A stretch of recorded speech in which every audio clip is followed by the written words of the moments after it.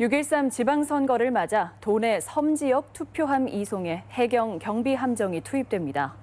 군산 해경은 지방선거 투표일 경비 함정 3척을 동원해 군산 관리도와 어청도, 방축도, 말도의 투표함을 육지로 옮길 방침입니다. 이와 함께 선거 전날부터 당일 밤까지 해상 경계 태세를 한 단계 높이고 상황 대책팀을 운영합니다.